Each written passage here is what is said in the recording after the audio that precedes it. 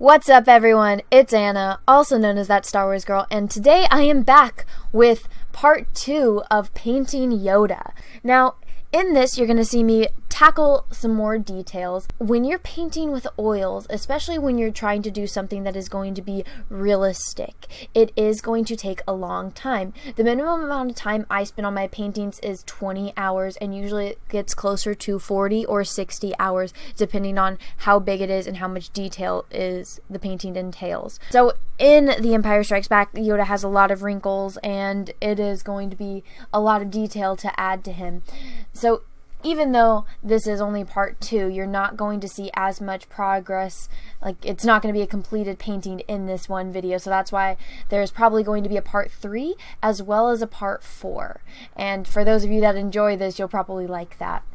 Now, when it comes to really building up forms on characters like this, it's going to be a lot of rep repetition. So you're going to see me go over the same parts multiple times, and that's because you're trying to build the paint. Some people can just go right in and, you know, add a swap and it'll look perfect. Those people are incredibly gifted. I am not one of those people. It took me years and years to learn how to do this. So whenever people tell me, oh my gosh, you're so talented, I'm like, I'm actually not talented. This is a skill that I spent years acquiring. And that was one of my biggest things with The Last Jedi and with The Force Awakens as well was that Rey didn't spend any time learning. She didn't spend any time you know, learning these things from Luke the way when you watch Luke train with Yoda, it's very clear that Yoda is making Mark Hamill work his freaking ass off to become a Jedi. Rey just swings a lightsaber around.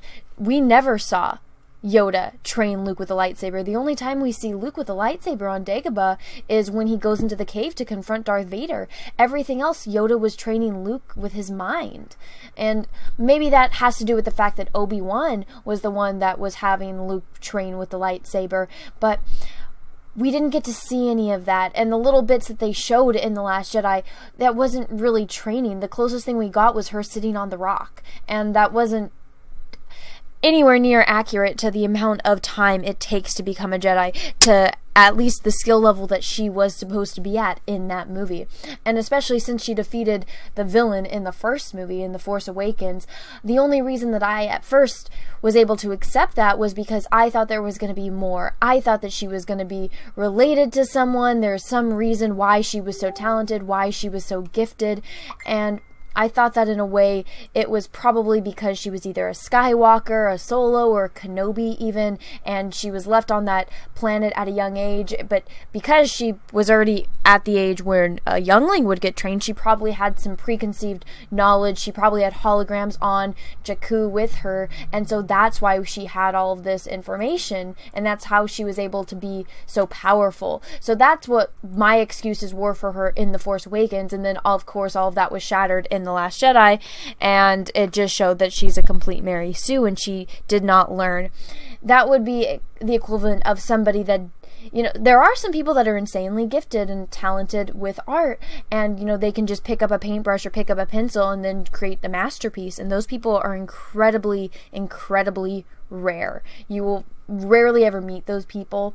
And for artists that you see that are very successful, it's because they had to go, they had to learn. Some are self taught, but they're not. I have yet to meet an artist that say that they just learned how to do this overnight. Like I said, that's incredibly, incredibly rare. And those people, even though they had that gift from when they were born, there's always room for improvement. There's always room to get better with your art. For example, one of these days I'm going to show you guys a drawing that I did of Princess Leia, and then I will show you guys the way I draw now, and you are going to definitely see an improvement. The other one was absolutely atrocious. And there's even artists like Liana Hee. So if you guys aren't familiar with Liana Hee, she was an artist at Nickelodeon for a long time and now she does a lot of her own freelancing work. She's come out with a couple of books. She's obsessed with painting these little mermaids and they're very very cute and her book series is called Mini Mermies.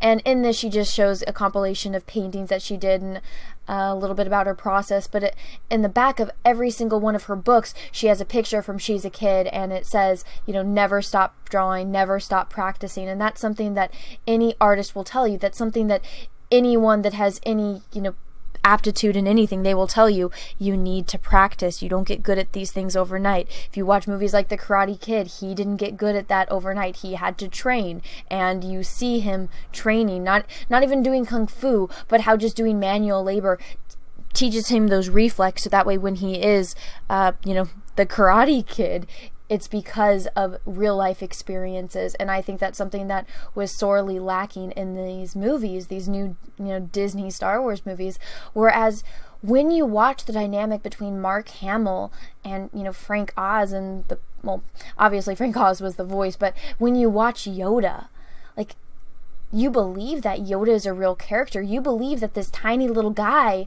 is you know the ultimate jedi the one that was able to survive everything was able to survive you know against darth vader against darth sidious the emperor. And he's been hiding on this planet waiting to you know train the next jedi the one that's going to be the savior of everyone who is luke skywalker. And he's even prepared to train leia if you know luke fails. That's why when him and obi-wan have that little conversation when luke leaves and yoda's telling him you can't you know that that's a big thing for Yoda. You can't abandon your training. I know that you're a good person, you want to go save your friends, but sometimes sacrifices have to be made and you need to train. That was Yoda's biggest thing. You need to train. And we didn't get to see that with Rey. And it was very, very disappointing. And so when they, you know, lash out at us because we bring up this argument and they say, you know what, she did. She, tr- she swung a lightsaber around without any instruction from Luke whatsoever it's like that that's not training. We watched Luke go through absolute hell. He was being tortured by Yoda basically, and we understand where that discipline comes from with Luke. And when Luke even questions Yoda and he's like this is impossible. The things you ask me are too much, and Yoda proves him wrong. Yoda shows that even though he is tiny, he's the one that's able to pull Luke's X-wing out of the swamp and Luke wasn't. Because like Yoda said, size matters not. Yoda was the most powerful Jedi, and he was the one that was able to survive when no one else could because of his knowledge in the Force, because he had trained in the Force and he had trained Jedi for hundreds and hundreds of years. And this is one of those key things when you're writing a character, a very good character, is you have to understand knowledge is power. Yoda didn't get to where he was without him studying, without him acquiring this knowledge. And if you know, he didn't, then he wouldn't have been the one that survived. And yes, you can always argue that there are some instances where characters get insanely lucky. Like, if Luke was not the son of Anakin Skywalker, there is no way he would have survived. Because Darth Vader was there. Darth Vader is the reason why Luke didn't die, because that is his son.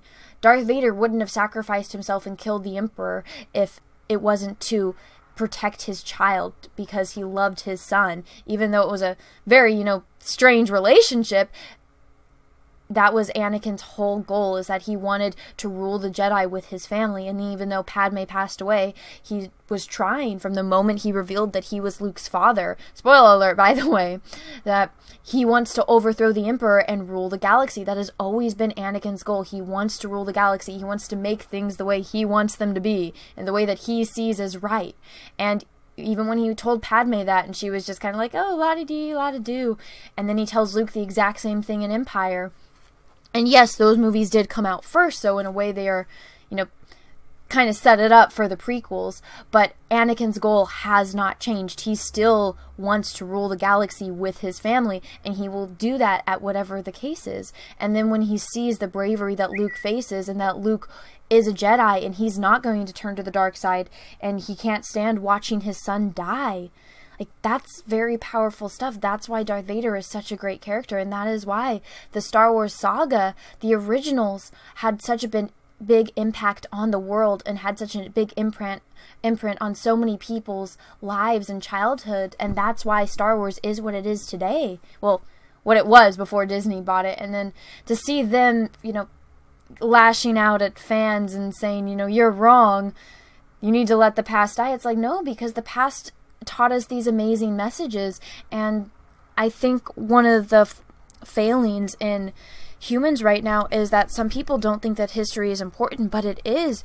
History is there so that way we can learn from our, you know, ancestors, so we can learn from the mistakes of humanity. And even when it comes to you know science fiction or in a way this is more of like fantasy fiction that or excuse me science fantasy it's a space opera but even this is teaching an important lesson and Luke Skywalker taught me that staying true to yourself and being a good person is the way to you know you know don't turn to the dark side. Don't let evil take over.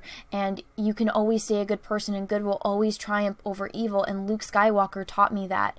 And I mean, everyone has their own story. Everyone has had, you know, their own horrible things happen to them in their life. But that was something that got me through the ones in mine. And Yoda was a big part of, you know, showing to Luke that, hey, size matters not. You can still be a Jedi. It doesn't matter who you are, what your background is, how big you are. As long as you're willing to put the time in, the patience, and learn, you can overcome any obstacle in the galaxy. So, everyone, I hope you enjoyed this video. If you liked this video, go ahead and give it a thumbs up. If you didn't, that's okay too. And if you haven't already, please subscribe to my channel. Make sure you click that little bell. And everyone, may the force be with you because we are really, really going to need it. Bye. Hey everyone, after being asked for months now, I finally got a P.O. box. So if you want to send me some mail, go ahead and send it to Anna, that Star Wars girl, or TSWG for short, at P.O. Box number 28171, Santa Ana, California, 927998171. Thank you. Have a great day, guys.